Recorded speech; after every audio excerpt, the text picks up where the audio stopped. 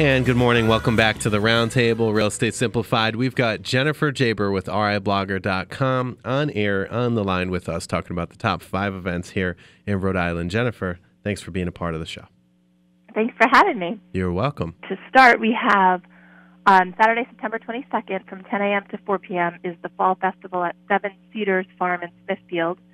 On the day will feature family fun for all ages, including face painting, bouncy houses, crafters, vendors, food, music, and much more. So um, I have not been to that one, so I intend to go this year. Mm-hmm. Um, the 29th is another favorite fall festival at Spring Hill Sugar House in Richmond. It's a great one. I have been to this one.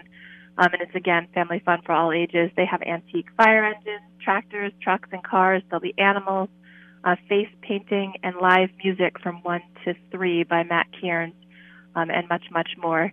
And there's also great stuff for purchase. So um, and of course, you can get some maple syrup, which is delicious. Mm.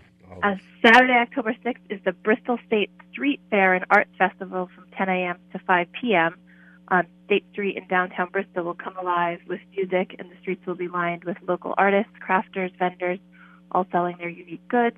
Um, it's a free family fun event, so you can come out. It's a great way also to support the local artists of Rhode Island. So attending these events is important, you know, to their success as well. So we plan ahead because it's the 6th to the 8th, and it's also the 52nd annual Scituate Arts Festival on the Village Green in North Smithfield. Um, it's Saturday and Sunday from 10 a.m. to 5 p.m. and Monday from 10 to 4 p.m. And it's an awesome festival for artwork. I mean, they're juried fine arts entertainment the entire time, a huge food court, tons of crafts and fine arts. So you could just walk in up and down that street. Uh, I forgot the name of the street, but there's plenty of plenty of stuff to do for all ages again. Uh, one more, October 6th, is the Wakefield Oktoberfest on Main Street. Um, it's the third annual Oktoberfest, and it features a day of live music, street performers, dancing, vendors, original art, uh, kids games, and they'll do the river fire that same day. There'll be food and drink and loads of family fun all day long, and that's from 12 p.m. to 11 p.m., so it's pretty much the whole day.